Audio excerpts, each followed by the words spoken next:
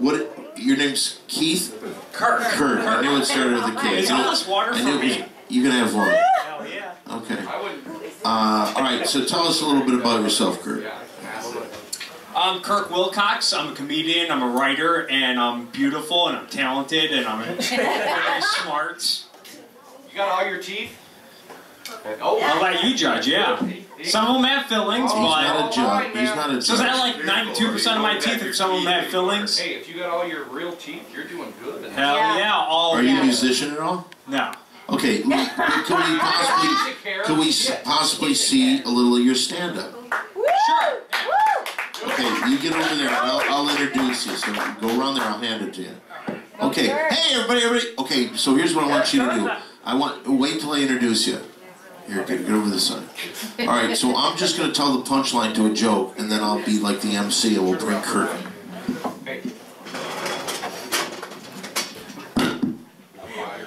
All right. So just laugh along with the joke. I'll just tell the punchline.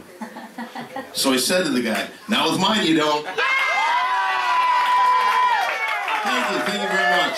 Uh, well, we're ready to do this. Hey, this is a new guy hitting the scene. He's good looking. He's uh, got all his teeth. Give it up. The comedy salads of Steve, Kirk. Kirk, give it Kirk in his hand. It's funny. I often get told I look like a musician. I've been told that when I have facial hair, I sort of look like Kurt Cobain, which Yeah. confuses me because I don't see the giant hole in my face.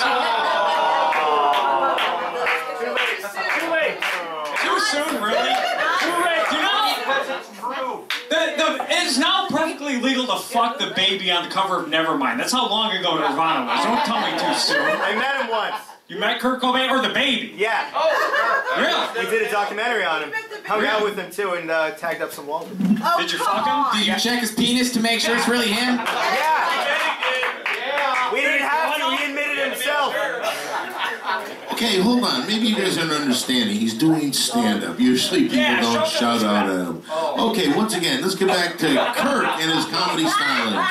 It's Keith. I thought we were Is it, is it Keith? I did say Kurt. I remember that. Okay. All right, let me just say this. Just because I got fucked up before the show doesn't mean you can come up and make an ass of me.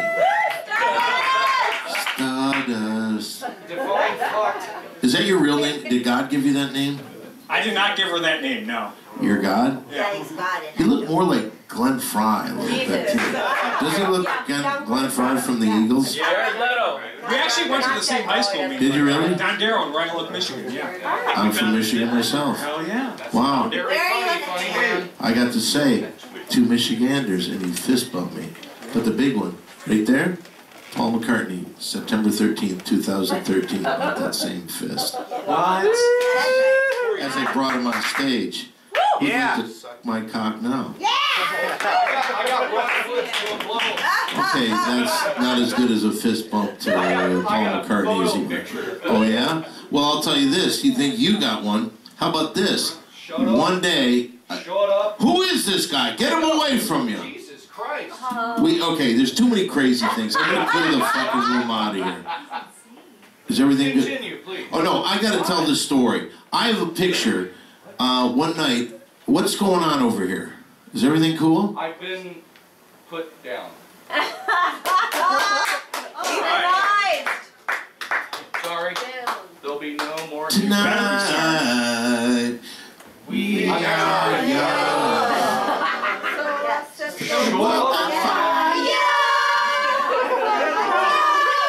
Okay, all right. Now, uh, real quick, you the maybe the most beautiful woman of the '70s. Who would you say?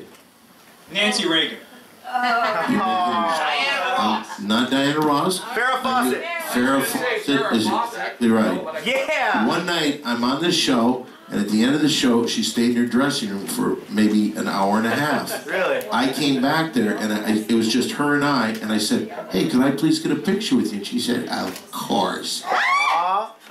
Aw. And so I held my camera like this, and she started licking my face. So my, I have a picture of Farrah Fawcett when she wasn't Majors licking my face. All right, once again, here's the comedy stylings of Keith, everybody.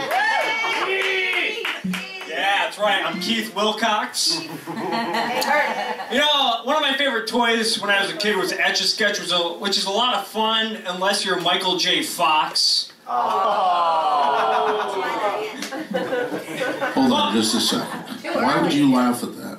Because I was thinking just the other day, I was thinking, wow, I wish I would have been, uh, I wish I would have been Michael J. Fox. Okay, continue on. Go ahead. Once again, the comedy sounds of Keith.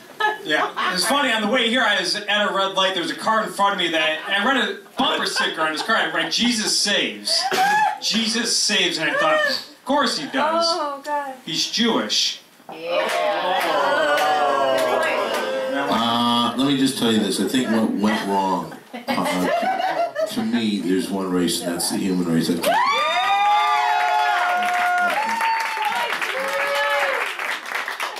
And uh, there's nothing wrong with Jewish people. So when you joke about Jewish people, Schizo gets offended. Yep. Tell him why you shouldn't talk about Jews that way. Were you offended, Schizo? Tell him why.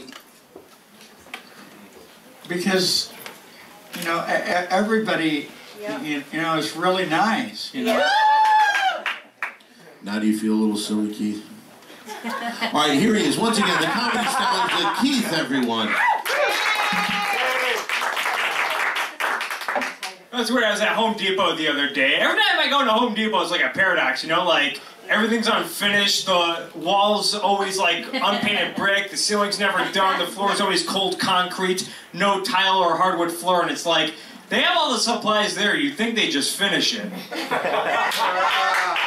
Hey, Keith, you know the feeling when you first put your penis in the vagina, how the muscles start to contract around Oh, it? yeah, so that's. Once again, the comedy sounds of Keith.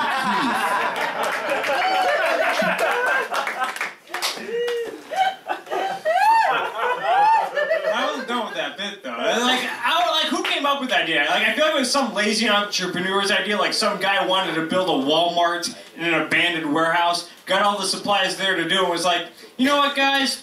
Fuck it, we'll just sell this shit instead. Standing ovation. Give a nice hand. Keith, everybody. Keith.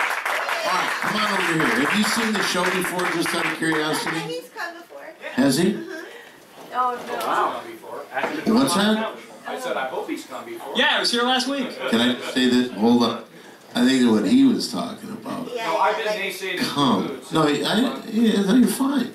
If I'm talking to you, everything's fine. Okay. I'm fine. I don't have security Okay, that you know, because you fit the profile of bad people. Oh, here. Oh, profile of funny people. Not really. What's that?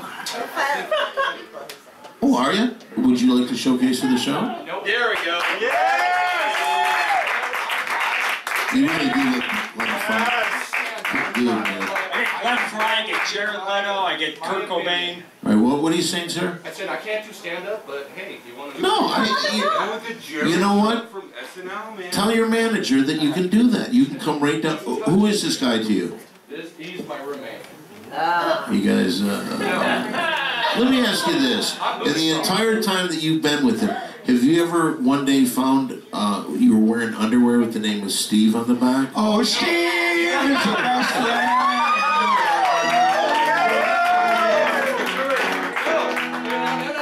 Oh, Steve is the best friend. right, hold on, hold on. You can't talk in some. You're not gonna. You, everything's fine. I, I don't want you to go, so everything's cool. Just you know, everything's fine. I was just talking. to You're not out of line right now. You're not out of line. I'm telling you.